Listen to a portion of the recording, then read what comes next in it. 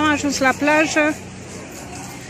Suntem contrajur, pe o parte sunt uh, magazine, pe cealaltă parte jocuri nu știu ce și restaurant.